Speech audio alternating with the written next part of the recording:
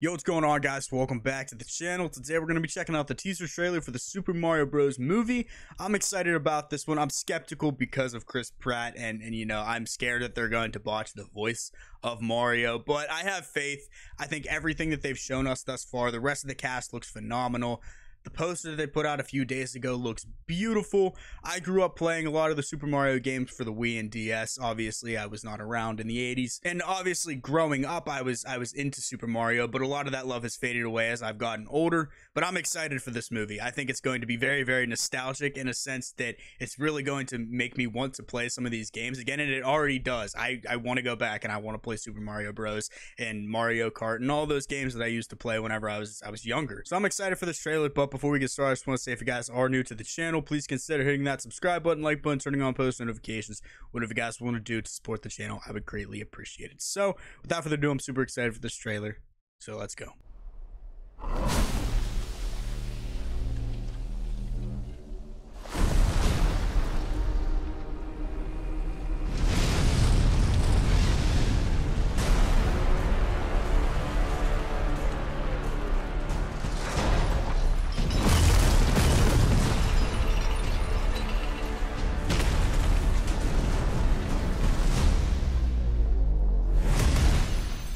Behold, the King of the Koopas!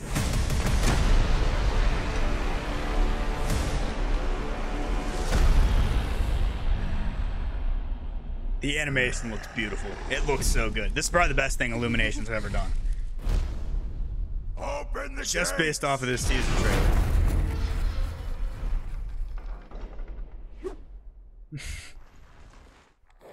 Attack! Throw those dudes off the edge in Super Mario 64.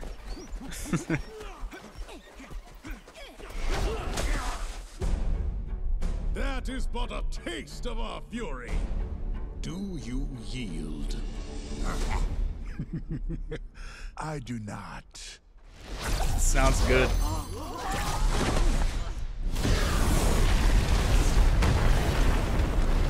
Obviously, I don't think anybody questioned the casting of Jack Black. I finally found it. Now who's gonna stop me?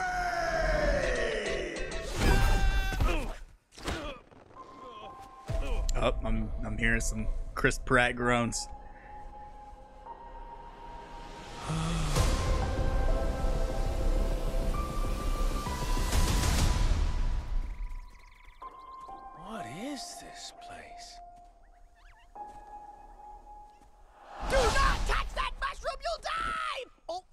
I'm. That one's perfectly fine. Come on, Mario! Mushroom Kingdom. Is that Key? Here we come. Keegan Michael Key.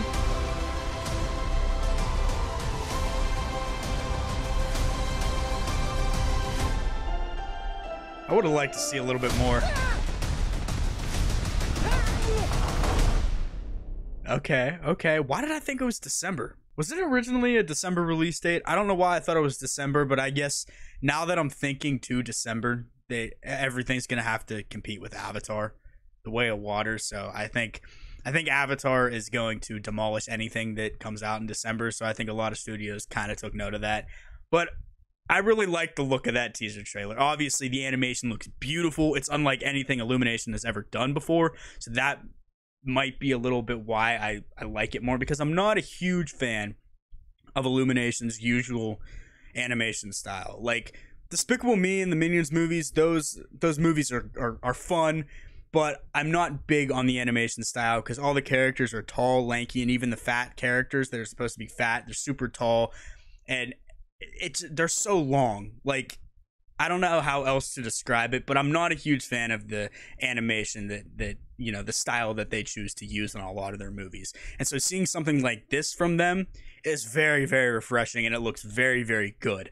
As to the voice of of Bowser, I I think Jack Black was perfect casting, as is a lot of this cast. But I think I'm gonna have to hear a little bit more of Chris Pratt's voice as Mario before I, I judge him as Mario. Obviously, I think there was a little bit of an accent towards the end of the trailer, but I think ultimately it's going to be a really fun movie. I think he's going to do a fine job, whether or not he impresses everybody, which he probably won't. But I'm looking forward to this movie. So let me know what you guys thought down in the comments below. Like I said in the intro, if you guys are new to the channel, it would help me out a lot if you guys could hit that subscribe button, like button, turning on post notifications, whatever you guys want to do to support the channel. I would greatly appreciate it. So hopefully you guys did enjoy, and I will see you all in the next one.